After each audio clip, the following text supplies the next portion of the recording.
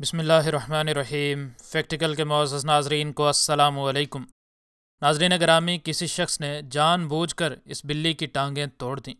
लेकिन इस बिल्ली ने अपने बच्चों के लिए कैसे ख़ुद को सहारा दिया, ये देख कर इंसानियत भी शर्मिंदा हो जाए। नाजरीन, इस बिल्ली की यह कहानी एक दिल दहला देने वाली कहानी है। लेकिन यह बात हम आपको वीडियो को मज़ीद आगे बढ़ाने से पहले ही बताते चलें कि बिल्ली की इस कहानी का अख्ताम बड़ा ही खुशाइंद हुआ। नाजरीन, बारहा हम अपने चैनल पर इस बारे में आवाज़ उठा चुके हैं। और ये नई कहानी भी ऐसी ही है, जिसको देखने के बाद इंसान होने के नाते हमारा दिल भी खून के आँसू रोया। नाजरीन, मामला ये हुआ कि यह बिल्ली जो कि माँ भी थी, एक पड़ोसी के घर के बाहर मौजूद लान में घुस गई। ये जालिम शख्स इस बिल्ली को बगैर पता लगे उसके पीछे आने लगा और मौका देखकर उसने इस बिल्ली को उसके दुम से पकड़ लिया और घुमाकर साथ मौजूद गाड़ी की साइड पर मार दिया। इस इंसान को महज इस बात पर गुस्सा था कि यह बिल्ली उसके घर में घुसी क्यों? इसके बाद उसने इस बिल्ली को फेंक दिया और ये बिल्ली वहाँ से एक इंच भी ना हिल सकी।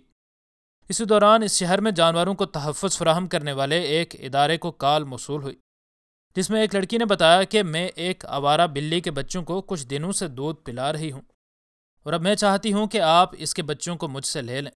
ये लड़की बेज़बान जानवरों का दर्द समझती थी। इस वजह से वो बगैर वक्त ज़ाया किए उस जगह गई। तो उसे यह देखकर बड़ी हैरत हुई कि ये बच्चे बिन माँ के हैं। उसने उनकी मदद को इधर उधर देखा और आखिर एक जगह उसको एक औरत नज़र आई, जो कि एक बिल्ली को उठाए हुए थी।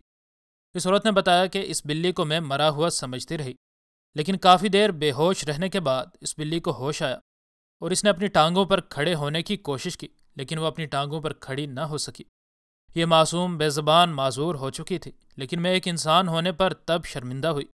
जब मैंने देखा कि इस माजूरी के बावजूद ये बिल्ली खुद को घसीटना शुरू हो गई, मैं हैरान थी कि आखिर इस बिल्ली को इस हाल में ऐसा कौन सा अहम काम याद आ गया है कि यह खुद को यूँ मज़ीद तकलीफ़ में डाल रही है।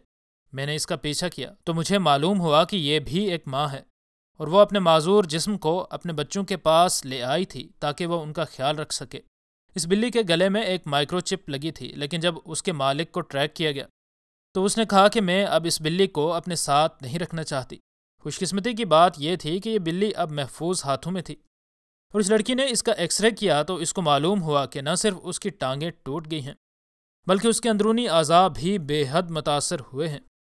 हती कि इस ालम इंसान के जुल्म की वजह से अब ये बिल्ली पेशाब भी नहीं कर सकती थी।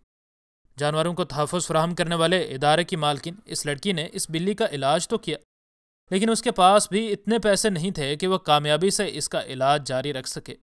और यूँ अक्सर ऐसे जानवरों को जहर का टीका लगाकर उनकी मौत को आसान बना दिया जाता है।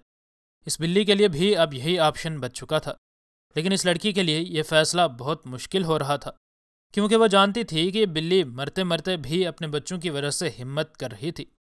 इस वजह से इस लड़की ने इस बिल्ली के नाम का एक गो फंड पेज बनाया, जिसमें इसने लोगों से मदद की, अपील की और देखते ही देखते इस बिल्ली की इमदाद के लिए उनतीस हज़ार डॉलर की एक खतीर रकम इकट्ठी हो गई और यूँ इसका बेहतरीन इलाज करके इसको एक बार फिर से अपने बच्चों के पास जाने और उनका ख्याल रखने के काबिल बना दिया गया।